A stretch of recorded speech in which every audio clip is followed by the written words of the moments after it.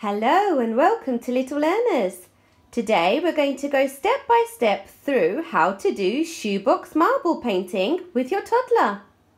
For the marble shoebox painting you will need a shoebox, some marbles, a spoon, some paper.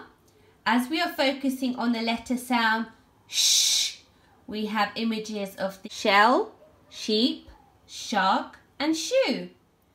And some different colour paints in small containers.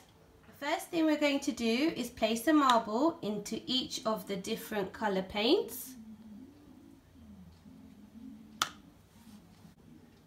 And then lift up each container and give it a little shake so that the marble gets coated with the paints.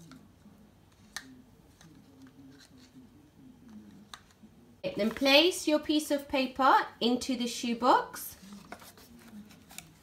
And then using a spoon, pick up your marble and place it into the shoebox.